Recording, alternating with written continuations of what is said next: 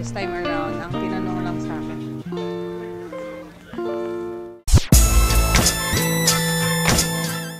Hi guys, welcome back to my channel.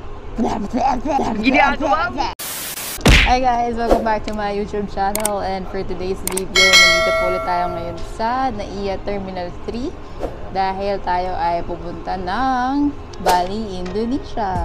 Actually, kakatapos lang namin sa immigration. Medyo mabilis siya ngayon since wala masyadong pila. Hindi rin na rin kami pumili sa travel tax kasi nabayaran na namin siya kasama ng ticket namin sa Cebu Pacific. So, hindi namin pum- pumila doon. And then, diretso na kami sa may anong tawag doon, sa may check-in. Diretso na kami sa may immigration. Sa immigration, wala rin masyadong tao since dumating kami dito is around 11.30 kahit ang flight namin is 3 a.m. pa, 3.45 a.m. to be exact. Nagahan lang talaga namin kasi nga, alam mo na, mahirap na magkaroon ng aberya. At least meron kang enough time para para dun sa mga aberya na yun. So, ang bilis lang yung process sa immigration. So, again, yung tanong sa akin, ang tanong lang sa akin is kung nagtatrabaho ba ako sa government, which is hindi naman. So, wala nang iba-ibang, wala nang iba, wala nang ibang tanong. Yun lang. Yun lang. Actually, yun lang. Ganun na siya kadali. So, siguro nakatulong na rin kung frequent traveler ka abroad. Yun nga, hindi ka na masyadong tatanungin ng immigration officer. So, mabait, mabait yung immigration officer namin na na na nakasalumuha ko ngayon and yun, wala masyadong hinanap sa amin. And sa partner ko naman, Ang bilis lang, unlike nung unang travel namin. This time around, ang tinanong lang sa akin is kung kailan kami babalik. Namali pa Which nga is, ako. nagkamali pa siya. Sabi niya, Friday, eh, dapat Saturday kami uwi. Pero kasi, well, yung, yung itinerary namin is 5 lang, 5 days lang kami sa Bali. Pero, ay, yung pang 6 day kasi namin is, masyado, ah, pang 6 day namin is 8 a.m. yung flight namin. So, ayun.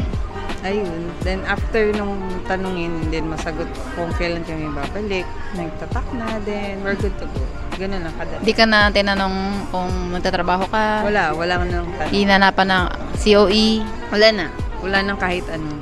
Yun. So, yun guys. So, sobrang smooth ng process namin ngayon sa immigration. Although, may mga nakaready kaming documents, like pictures namin together kasi which is inas kasi siya before sa amin. So, nag-prepare na lang din kami ng printed. Meron din kaming screenshot ng e-travel pero hindi rin siya hinanap. COE, nag-prepare din siya ah, ng printed pero yun nga, hindi rin naman siya hinanap. So, ayun, ano pa bang prepare mo? Wala na. Yun lang, yun lang actually. Flight ticket, flight ticket, yun lang. Yun lang guys. And, yun pa pala, isang bago, bagong process ata sa Bali or sa Indonesia. Kailangan i-fill out na information, yung mga gamit ata na da- dadalhin nyo or basta mga dala nyo actually, di ba? i-declare nyo doon sa basta meron silang form, meron kayong meron silang parang e-form din.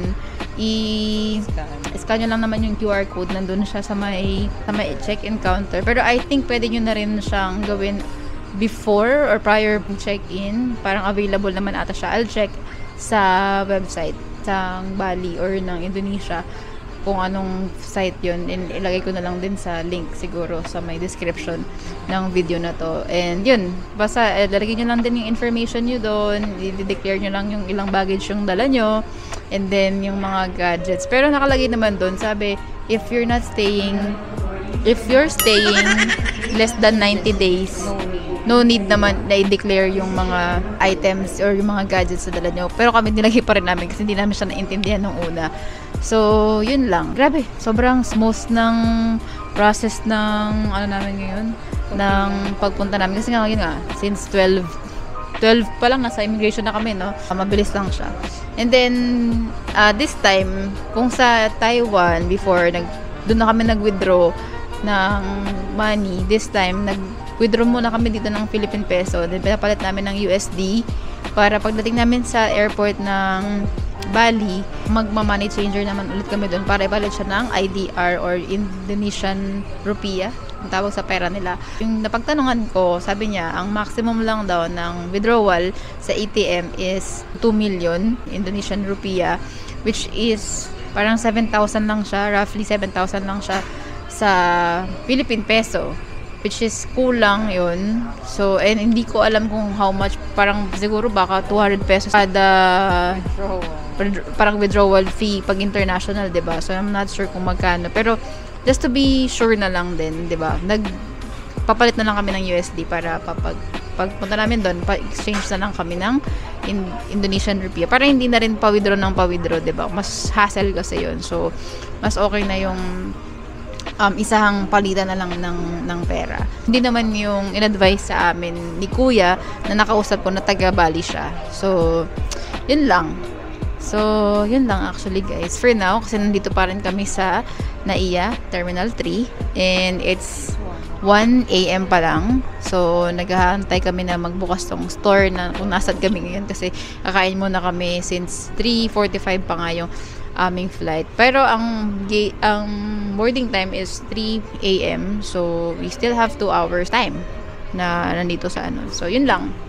Yun lang for now, guys. So, mamaya balik kami. Actually, pala, itong, itong trip, itong first day namin na to, diretso na to. So, pagdating namin ng Bali mamaya, diretso na yung um, itinerary namin. So, may magsusundo sa amin mamaya, and yun, diretso na yun. Diretso na yun ng tour namin. Bago kami pumunta sa aming villa or sa aming tutuluyan doon. Ginagawa Yun lang guys. So, abangan nyo guys. Sobrang exciting kasi ako na-excite na rin talaga ako. First time ko pumunta ng Bali.